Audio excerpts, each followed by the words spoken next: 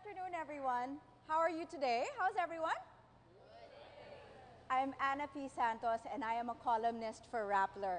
I write about women's sexual health rights, and I have to tell you, I think I have the most enviable job in the world. I write about women's sexual health rights in the context of empowerment. But what does that mean? What does that word empowerment mean? It's a word that you and me both have heard quite a lot. But what does it mean exactly? Does it mean overcoming perceptions? Does it mean breaking through glass ceilings or going beyond the limitations that we set on ourselves? Outside, there's a little photo there where I saw a lot of girls enjoying themselves, taking photographs with a little placard. And they wrote things like, they said I could never make it in a man's world. They said bossy girls were just not going to cut it. And I myself put up a placard that said, they said I was just, in all caps, a single mom. And I could see from the photos that you've shared that there's so much fun and yet fulfillment in breaking barriers, debunking labels, so we can all shine. And there's also something that has to be said about how we can mobilize ourselves as a global community in times of natural disaster or emergency. In that way, empowerment also has a selfless angle. When we're empowered, we reach beyond ourselves and we extend ourselves to help others. And that's exactly why Rappler and Pantene have put together this forum so we can have an intimate chat. You know, little girl talk, and some of the guys are here too. So we can talk about what, where women today stand on issues like work-life balance, family, social life, beauty and career, and the quintessential being the best that we can be. We're calling this How We Women Whip It. I'm not going to preempt the presentation this afternoon, but I will tell you that we have a lot to talk about today, and we have very inspiring women as guests on our panel. They will talk about how, just like you and me, they've had their own struggles with self-doubt, with perception, and how they overcame them. We'll also hear from other men and women in Metro Manila who were surveyed by our friends at Lilo Research on this same issue. And when you have that aha moment, or what we call at Rappler, awe-inspiring moments, and I know there will be lots of them. Share them with others. Tweet with the hashtag WhipIt, or share photos that you've taken at our photo booth with the same WhipIt hashtag. We're also live blogging and live streaming this forum, so you can invite your friends to watch and join the conversation by going to Rappler.com. We've got a full afternoon ahead of us, and I'm very happy to kick off this event with a gentleman on board. I think it's fitting that we kick off a women's forum with a gentleman. And I'll tell you why. Here, with a few words on why we should whip it, is Pepe Torres, brand manager for Total Hair Care, Procter & Gamble Philippines.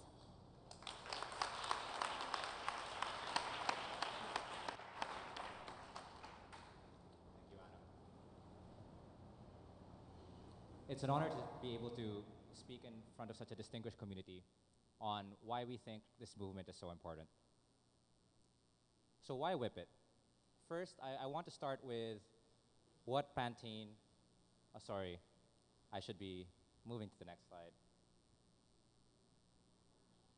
What is Whip It? Sorry about that, guys, some technical difficulties. But let me start with why we're doing this. It's because of what the brand Pantene believes in. First, we think that beauty is power. When you feel beautiful, you're unstoppable. Second, Pantene is not just in the hair care business. It's in the personal success business. And finally, we think that real beauty, and we don't just mean how you look externally, takes hard work.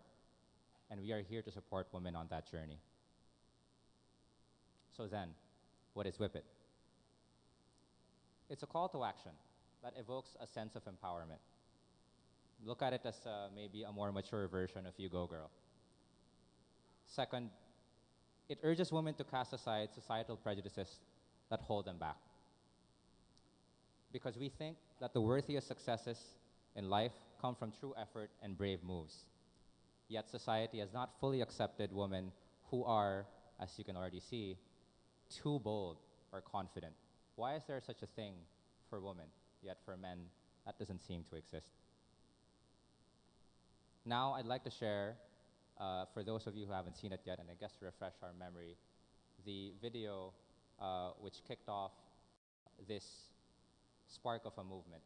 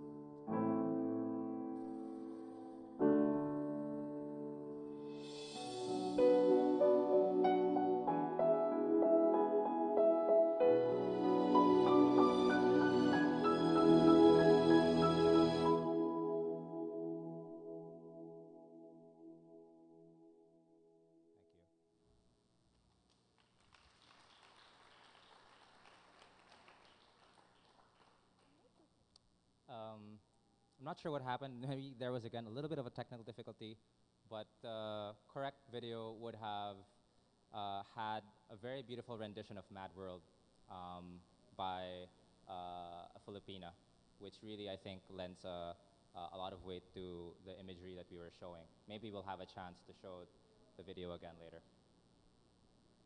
But first, I, I would like to say uh, a big thank you to the team, our partners at BBDO Guerrero, who helped develop uh, this campaign, who helped come up with the insight uh, behind uh, this entire uh, spark of a movement.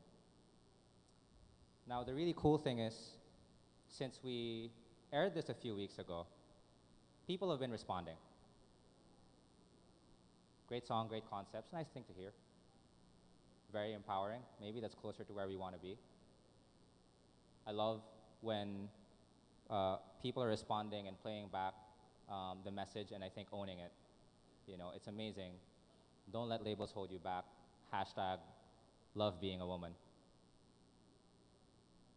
And it's also uh, really cool to see that people are resonating with the insights that are in there. Pantene's new commercial is gold. Again, nice to see. Don't let labels hold you back. So clearly, folks are responding to the video and what it stands for, the insight behind it, and the message we're trying to send. But not all responses are positive. There's this guy, for example, and I'll be very transparent. Ignorance by consumerism. Really not happy with it, actually. Let me guess, this commercial was created, conceptualized by a female or gay male ad exec who feels the need to empower women in a society where she feels oppressed by men. It's very long, so I'm going to just uh, capture what I thought were his key points. Why all the envy towards men who happen to be confident, etc. When women are seen as bossy, pushy, selfish, and vain, maybe it's simply because they are. And finally, uh, this commenter mentions, you know, this propagate even more sexism and all in order to sell a damn shampoo? Too bad. It was a good commercial, but with a horrible message. So actually, this came out pretty quickly after the uh, video uh, came out. I saw these comments, and for a while, I thought about it, and I decided, hey, we live in a different age where we get to respond and interact and have a dialogue and a conversation with consumers, and that's actually why we started this. So I actually decided to respond. And I would like to read out to you my full response because I think it captures not just what the company believes in and why we're doing this, but also personally uh, why I believe in it and what I think is at stake.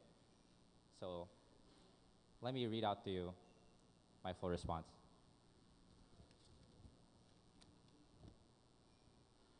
First, of course, I had to say thanks for commenting and sharing your point of view. For full disclosure, uh, I'm with P&G Philippines, the company behind Pantene. First, I was one of the people who worked on developing this movement and this commercial. And I'm happy to tell you that this was not conceptualized by a female or gay male ad exec, as you suggested. I'm male and straight, not that there's anything wrong with being gay. And the greater team behind this was very diverse in gender and probably sexuality, though I didn't really care to inquire about the latter. So I'm glad that's out of the way. Second, I'd like to address your point of view. Our intention is to show that when men and women do the exact same thing, especially in the workplace, men tend to have the benefit of the doubt, and women have a higher tendency to be judged and labeled unfairly. There's more than a few studies and assertions from, and assertions from very credible people around this. So I shared with him a couple of links, which interestingly enough were actually shared by either consumers or some of my own colleagues in response to the video. And they said, you should check this out because it really seems to be reinforcing your message. So I continue. This gender bias bleeds into other aspects of society as well. For example, in a study we developed with Rappler, for which we will find out more later, we found that a majority of Filipinos believe that it's more acceptable for men to have extramarital affairs versus women. Personally, this is how I knew that we were onto something real. When I saw the first conceptualization of this video, I felt something inside me and I started tearing up. Though, of course, I tried to hide it. Talk about uh, gender bias. It was actually guilt. I knew that I was guilty of judging women the same way, which is a shame because I was very lucky to grow up around three very strong women my mom and my two sisters. That's when I knew we had to do this. So here's one of my sisters. Her name is Monica. She has been Iron Woman for the Philippines four times. She is probably the strongest woman I know, and I've not met anyone so fiercely dedicated to being number one in the world at what she does. That is literally what she wants to be the number one triathlete in the world. It's clear she's number one in the Philippines, but she wants to take it higher. Finally, I want to address your concern that you believe it's a shame that this was all just to sell shampoo. Pantene as a brand believes that we exist to help women and their world shine. Yes, we do this through our products, which we create, develop, and improve to give women better and better hair. But we also look broadly at what was holding a woman back from shining. And it was very clear that it was labels, double standards, and gender bias. Like it or not, brands have a lot of media clout because of advertising budgets. Personally, I would like to embrace a world in which brands are able to use this influence to be agents of positive social change. Thanks for commenting, and I hope you keep an open mind. If you feel strongly about your point of view, I suggest you follow the conversation and material we're developing in partnership with Rappler that explores this movement even further. I think that summarizes not just how I, but also the company feels about the beginning uh, of this movement on Whip It. And we really hope that we join together in making this a true movement and something that really uh, impacts the Philippines. Thank you.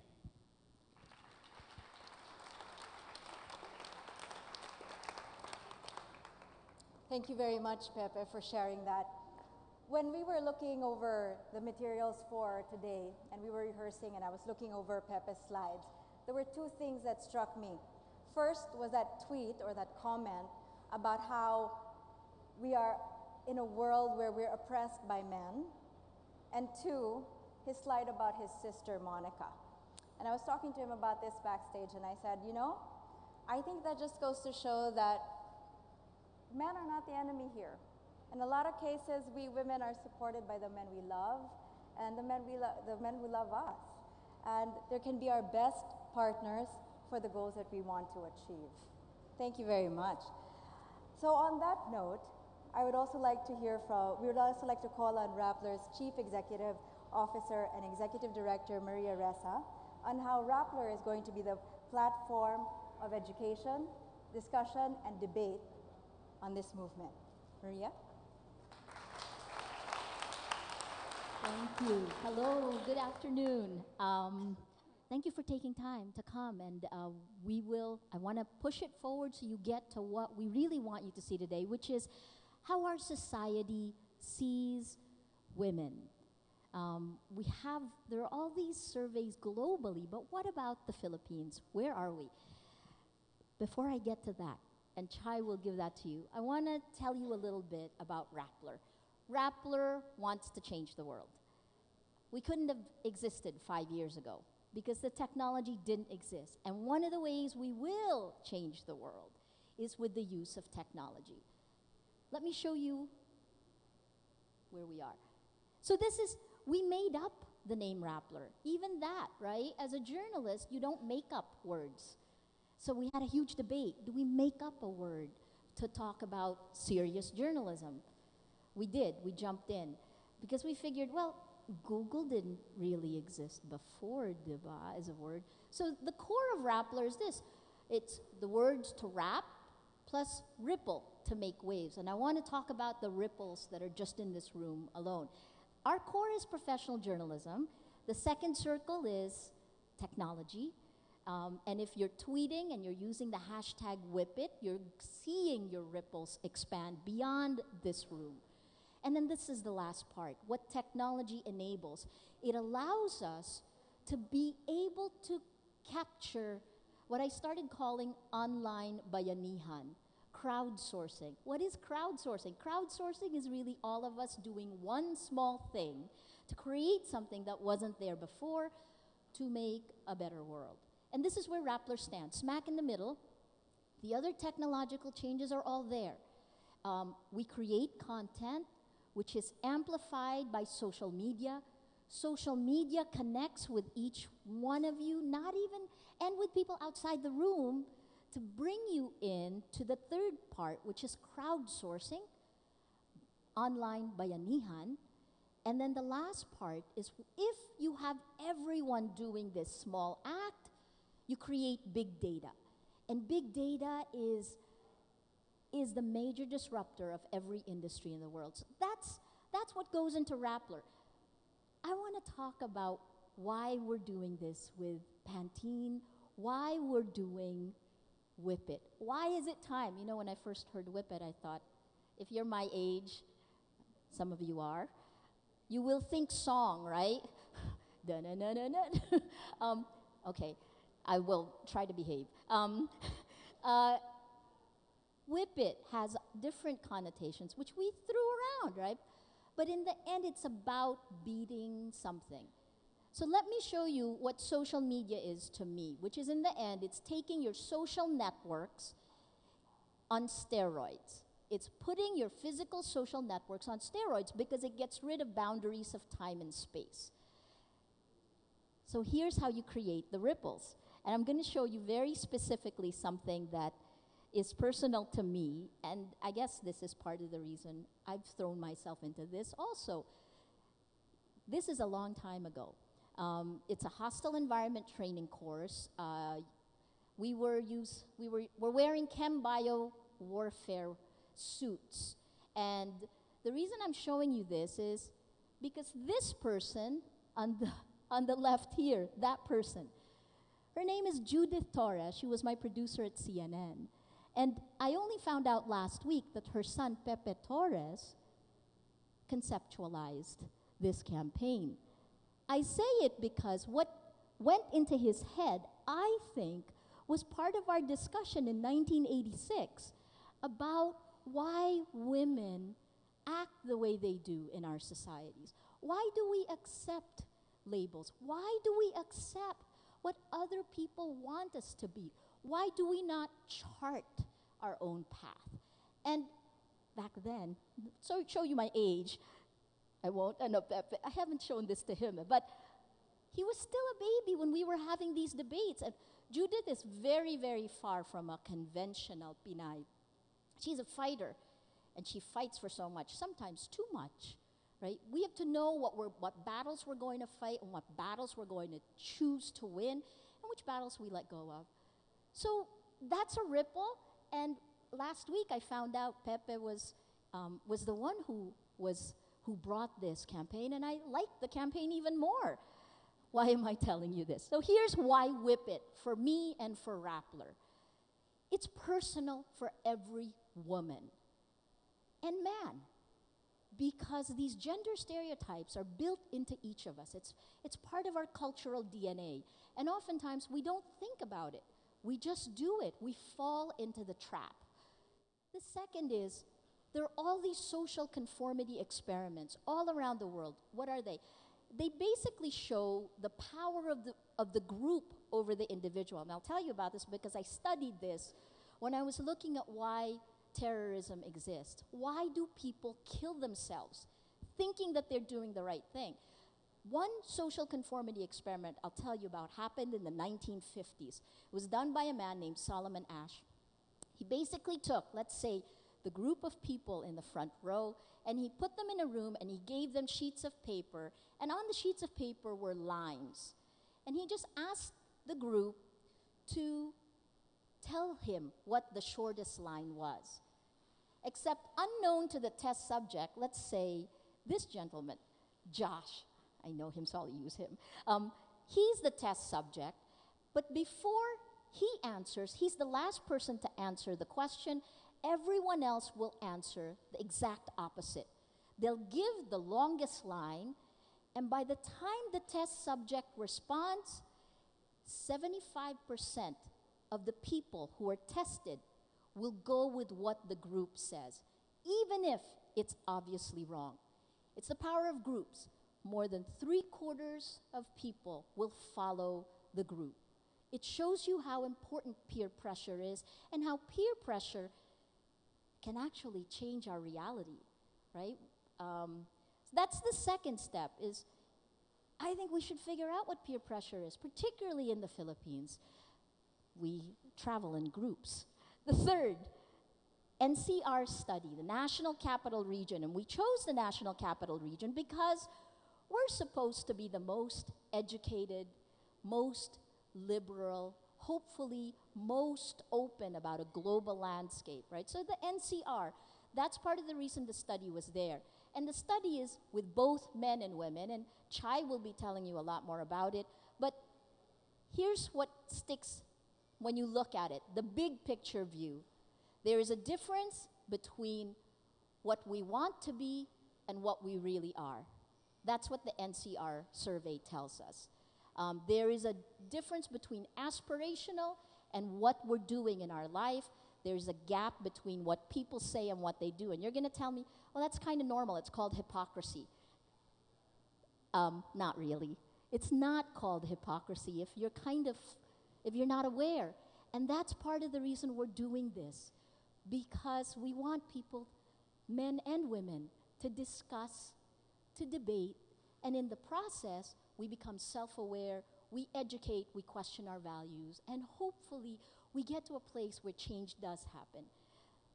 I'm not the first to say it, you know this phrase. I think it was Mahatma Gandhi. Be the change you want to see. To change the world, you change yourself. And here's the last part of that NCR survey the women do it to themselves. And I see a group of women activists who I know will tell me they don't do it to themselves. Society makes them do that. Yes and no. I guess I believe, and it's the same thing I said at the Climate Change Commission um, meet gathering this morning, we buy into it. And I would, that's the last part. That's the last reason why we're doing this, because we want you to be aware of what you're buying into. This is the user engagement model of Rappler. Why Rappler? Because Rappler not just gives you information, it also measures your response. Neuroscientists say that we don't act based on what we think. We act. 80% of how we act is based on how we feel.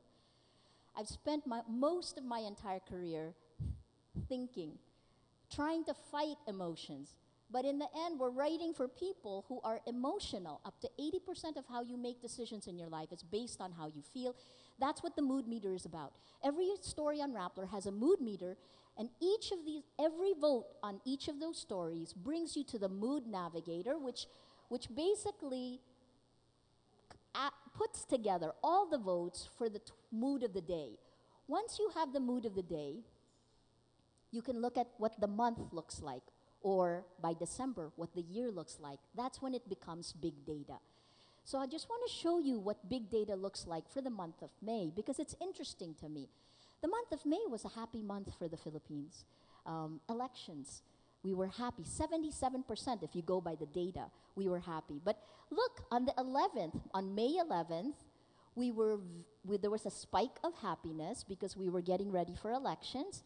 But look on election day, on May 13th, the happiness went down and angry, red, went up, and annoyed went up because of the slow election returns.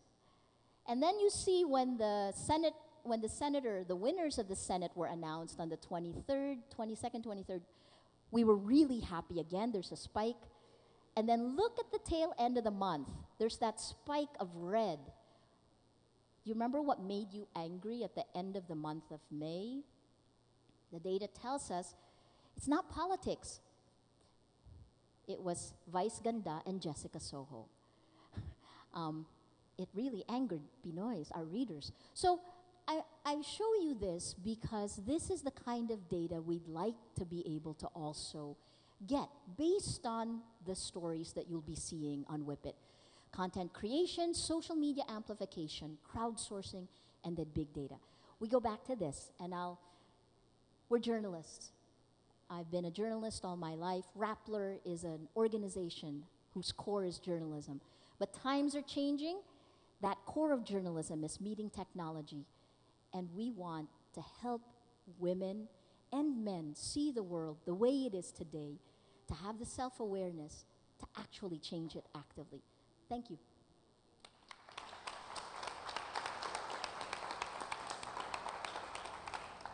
Thank you very much, Maria, for talking to us about how conversations and discussions like this create ripples.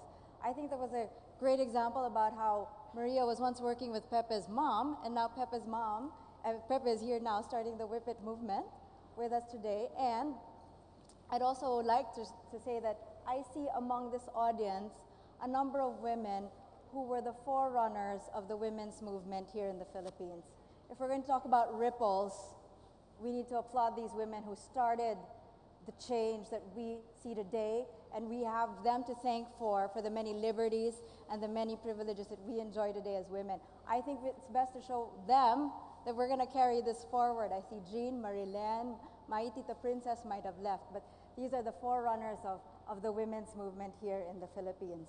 These women are the best examples of how you don't let labels hold you back and how you can choose to shine.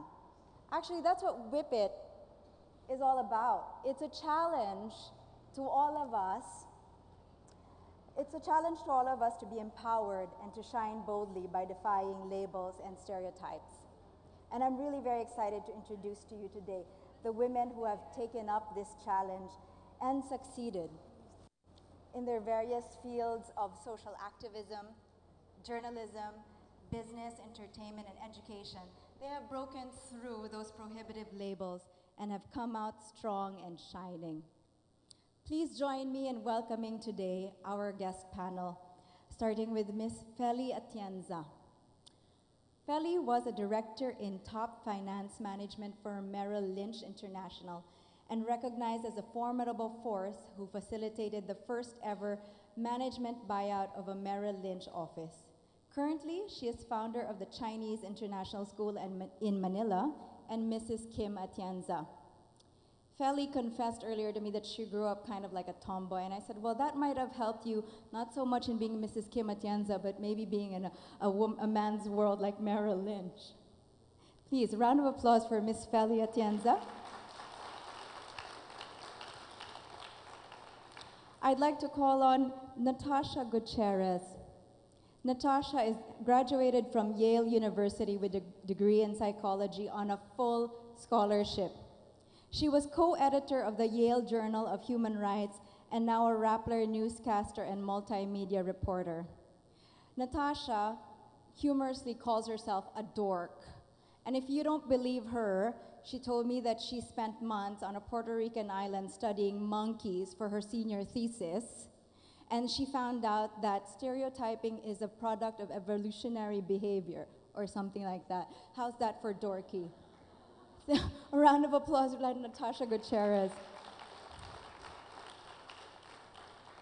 And I have the privilege of knowing Samira Gutoc.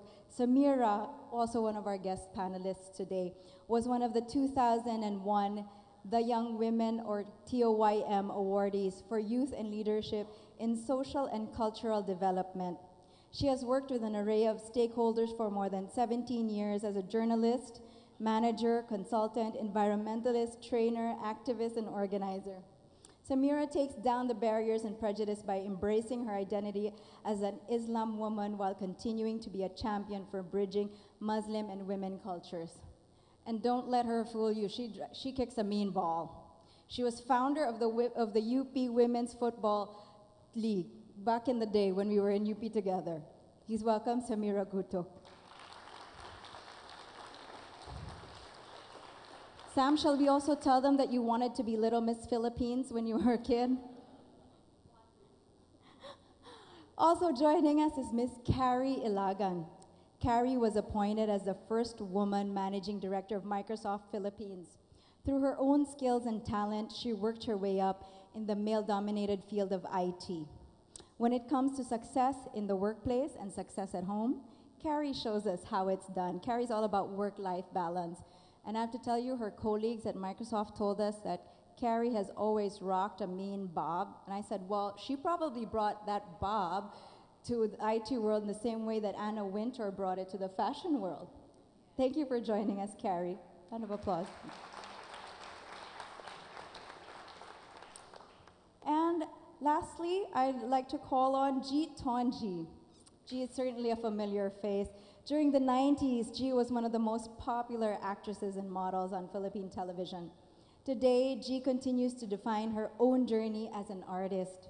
And based in the Philippines with her American husband and two kids, G has effectively reinvented herself into a multi-hyphenated achiever as an actress, a documentary producer, business owner, journalist, and advocate for women's reproductive health rights.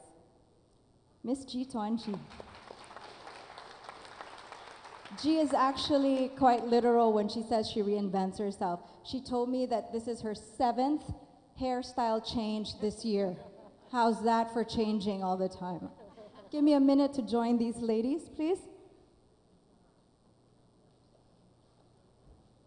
Good afternoon, ladies. Good afternoon. Good afternoon to each and every one of you. I'd like to open this discussion by asking you to talk about your own labels labels that you had to contend with in the workplace, labels that you had to contend with maybe at home. Natasha, maybe we can start with you. Natasha has just come back from Macau a, from a testosterone-filled ring covering the Manny Pacquiao fight. Yep. Tell us about um, labels that you had to contend with. Sure. Um, is my mic working? Fine. Um, I just came from Macau to cover the Manny Pacquiao fight for eight days. And I came in um, thinking I knew everything, I'm knowing that I know a lot about boxing, very confident about my own knowledge. It came in and it was 95% men. Um, there are probably only 5% women from all over the world, you know, journalists, but um, mostly reporters. And I was surprised, one, because the way they carried themselves was something somewhat unexpected for me. They basically wore short skirts and wore low-cut tops, which to me was pretty surprising. You know, we're in this testosterone-filled environment, and I'm trying to prove myself and my boxing knowledge, and the women around me aren't helping. Um, so that was pretty difficult, and for the first few days, I didn't really want to ask any questions. Um, it almost felt like if a woman journalist opened her mouth, all the men would turn around and kind of say, you know, they wouldn't say anything, but you could just feel um, some sort of expression in the air that was, I wonder if this woman knows what she's talking about. Um, so definitely it's a challenge every day. Um, they say, one label I've gotten or I've heard, I guess, is they say or at least they've said that when I've broken stories, it was because I was sleeping with someone. So it's a constant effort to just prove yourself um, that women can be successful uh, in journalism and not have to sleep around or not have to wear sexy clothing to advance themselves. It seems that they say women can only be successful if she's done something other than hard work. Work at somebody, not at something. You Karrie, Feli, do you want to comment on that? That's very interesting because I um, was in finance as well for about 12 years. I worked for um, worked for J.P. Morgan Fleming as well as Merrill Lynch. Um, two years of that were in London, and they also said that my success was because I slept with all my clients. And I think it's just a universal uh, stigma for women that if you're successful, you slept your way to the top. And what was very interesting was, I think I was in London at that time, and a colleague said, Well, you know, um, Felicia, for women, you're bitchy, but men, they're opinionated and they're aggressive. Women, we sleep our way to the top, and men, they climb the corporate ladder. So just accept it. I'm going to ask another woman who has made her way to the top in a male-dominated field. Karrie, what has been some labels you've had to contend with in the workplace? Well, a lot. I hope I had the same. But people also thought that I was, you know, I was way to the top. I'm just as pretty as this too. Because I never got that. What I got was, what I got was, um, mine's, uh, what I got was always pakialamera. So uh, it's uh, th- th- th- that's a label that I got um, all the time, and I think it's because of you know you you just get yourself involved in many things, you know, because you know you're you're you're pakialamera because you're a woman.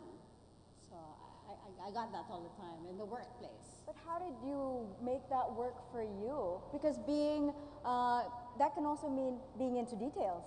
Yes, exactly. Well, I guess it's uh, you know it, it's um, it, it's something. I, I think it's a it's a strong woman attribute, which is us being very um, detail oriented. Um, not just being detail oriented, but because I think um, women are just able to do or to multitask. I think, and I, I've always thought that's a that's a positive and a plus, uh, especially in the workplace, because you know you don't have to be, you know, it, it's not you know it's not one at a time, so you get to do more and you get to accomplish more because um, I think that's a that's a very strong women um, attribute that we have, and it helped me a lot. I like that from Karrie, Natasha, and Feli. We learning about how stereotypes and gender biases and this proverbial glass ceiling still exist in the workplace, but you can make those same gender biases, or maybe not the sleeping around part, but the, at least being into details, turn that around and make it work for you. I'm not going to ask G and Samira, you know, being in the media, Sam being an Islam woman, you're already kind of boxed in. What are some of the labels that you've had to contend with and break through? I think, I think at the height of my career as an actress and as a model, I was called a lot of things. Uh, high class hooker. Oh, she's getting all these uh, roles because, you know, yes, she's sleeping with someone too. Uh, and I just felt that uh, as, especially being an actress and being in the media, uh, you don't see it when you're in it, but when you get a bird's eye view, you see the exploitation that happens. And it just so happens that when I was starting my career as an actress, the kinds of films that were being portrayed were what we call tintillating films. Okay, and at that point, that's when I had to really make a decision for myself, for my integrity as a woman, to be able to walk away from everything that the entertainment industry offers because I knew that my success would ultimately um, really rob me of what it means to be a woman. So I took the chance and I said, you know what, I have to. I have to get out of this in order to really empower myself. And uh, uh, being a mother and coming back to the Philippines after after raising my children on my own, I know for a fact that I am the first to wake up in my household, I am the last to sleep, and women have that resilience that really makes us, like you said, multitaskers. And that's the thing here, coming back to the Philippines and being a slashy actress, writer, documentarian, people are like, ay, ba't ang ambi- ambisyosa siya masyado? She's too ambitious, like it's a bad thing. And so I feel like as a woman, um, I, I'm constantly trying to break that, that it's not, it's not a bad thing to be ambitious and to go after your dreams and